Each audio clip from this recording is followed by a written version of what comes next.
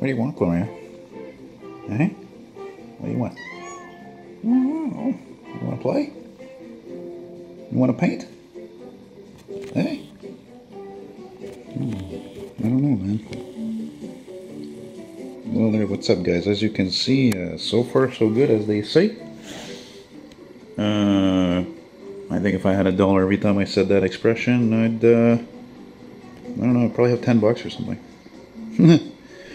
anyway, so here she is, man, the 61 Monarch Richelieu uh, four-door hardtop. I almost did a coupe, but, you know, I mean, look, of all the paintings I think I've ever done of cars, this is the one that probably represents me the best. Why? Because, as I mentioned in part one, anybody who's not familiar, even though you guys specifically are familiar with these cars, this is a Canadian version of the full-size Mercury Mon Monterey or Meteor. And um, this is, I guess you could say in a way, its ugly cousin or cooler looking cousin is the Monarch, the Canadian version, 1961. And, um, you know, and I, so I did that, right? The 61 Monarch, a weird, almost ugly ducking, duckling, kind of like me, but unique, pretty much.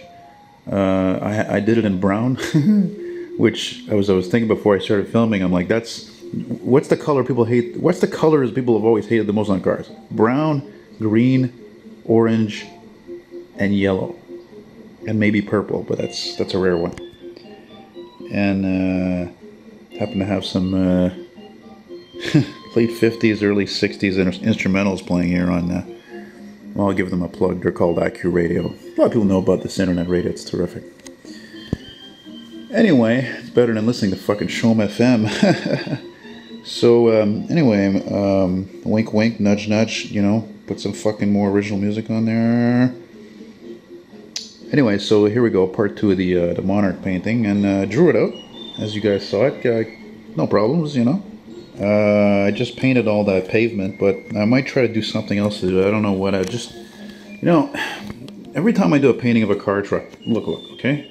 There's the Chevy uh, Stageway, armbruster, with the Boeing. Nothing special with the pavement. The 58 Plymouth, nothing special with the pavement right? If you're going with this.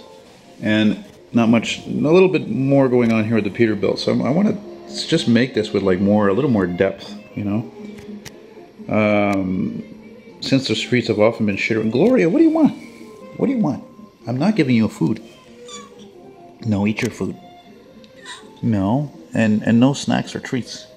Va manger ton manger là, and I give you the food. So, uh, as uh, the uh, once uh, uh, CJAD radio man Peter Anthony Holder used to say, it's just tickety boo. Just tickety boo. Oh, yeah. How about this? Just strolling by my window just to give you guys uh, an idea how a lot of old school types are in my neighborhood. Well, there you go. So, anyway, yeah, my uh, old uh, worn out uh, suede jacket that my I got one after my grandfather died in 2005.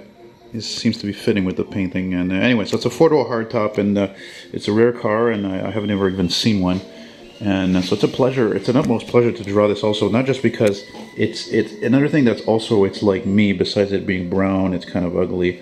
It's a four-door it's different. You know, it's just different like I am, and uh, and I'm proud of that. And not only that, it's as I'm as I'm proud to be Canadian. I'm proud of our Canadian automobile history. So um, yeah, that's about it there. And uh, hope you guys uh, hope you guys dug it there. I'm gonna start working also soon on the the very old building in the background. If you watch part one, I'm gonna be using a building from right a block from my place. So you see my streets out there. So the street behind me is there, and the other building that looks really period correct, let's say like this car, well, it's it's going to be in the painting. Yeah, so uh, yeah, anyway, that's it, man. So hope you guys dug it. Take care. Bye-bye.